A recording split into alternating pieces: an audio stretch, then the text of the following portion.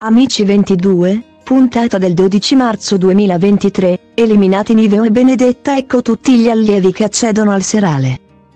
Class uguale P1 è appena andata in onda una nuova puntata di Amici. Class uguale P1 l'ultimo appuntamento della stagione prima del serale si è aperto con un colpo di scena.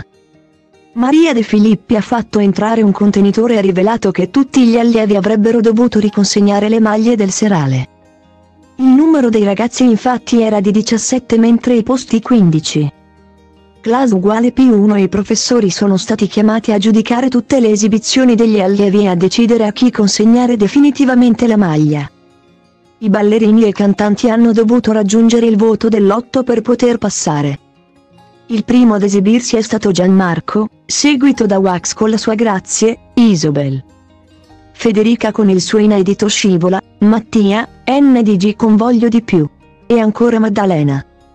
Angelina con Mani vuote, Sanu, Piccolo G con È normale, Megan, Cricca con Maledetta felicità.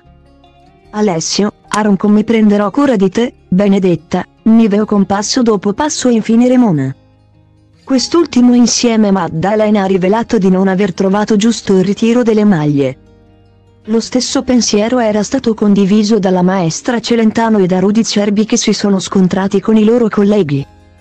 A conquistare la maglia dopo questa prima prima ma anche sono stati Angelina, Maddalena, Isobel e Federica.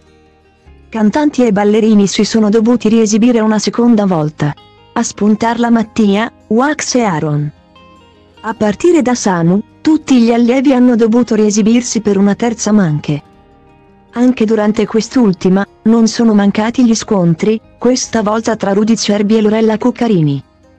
Rudy ha invitato la collega a differenziare tra talenti e allievi capaci. Alessio, Remone e Piccolo G hanno conquistato la maglia. Una quarta manche ha invece coinvolto Cricca. Gianmarco, NDG, Sanu, Megan, Benedetta, Niveo. Gli ultimi cinque posti a disposizione sono andati a Cricca, Gianmarco, NDG, Samu e Megan. Fuori dal serale Niveo e Benedetta che ha ricevuto da Maria De Filippi un contratto lavorativo. La ragazza si esibirà con Mattia come sua partner durante il serale, continuando a vivere in casetta. Mattia si è esibito per Tim.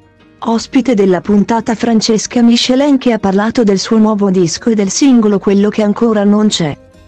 Pezzo scritto quando ero ancora giovanissima.